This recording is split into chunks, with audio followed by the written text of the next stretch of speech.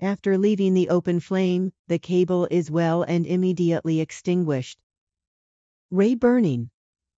Flame retardant electrical cable does not mean that it does not burn, but that it extinguishes as soon as it leaves an open flame. In this way it prevents the ignition of nearby combustible materials. This reduces the likelihood of fire. We see that it is burnt on the outside with powder falling off when you rub it with your hands. But inside, the PVC insulation sheath is still intact. Then we burn it again. We peel it back to see that the inside is still normal red. Let's burn it again. It's still not burning when we leave the open flame.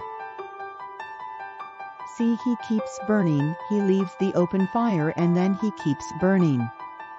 In the event of an accidental burning of the insert, there is a high risk of igniting nearby combustible objects.